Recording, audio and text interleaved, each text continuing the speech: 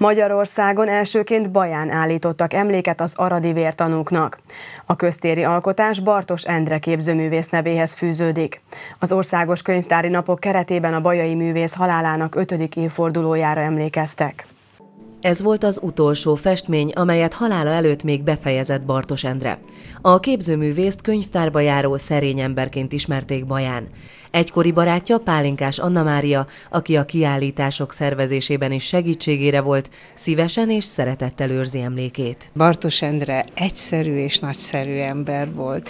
Az egyszerűségén azt értem, hogy mindenféle művészeti alűrt mellőzött, és az utcán ő úgy közlekedett, úgy tartott kapcsolatokat, hogy őről a senki nem tudta megmondani, nem mondta volna meg, hogy ő egy nagyon tehetséges művész, nem csak a festészetben, hanem a plakettkészítésben, szobrászatban egyaránt. A bajai művész több kiállítást rendezett Magyarországon és Németországban is.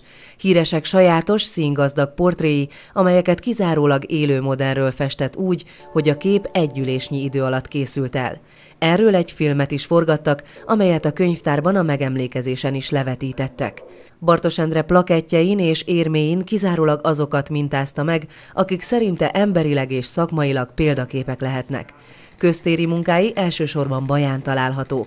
Ezek közül is kiemelkedő az Aradi Vértanúk plakett sorozat. Dr. Vas Zoltán, szemészfőorvos, aki Bartos Endre barátja volt, és mentora is.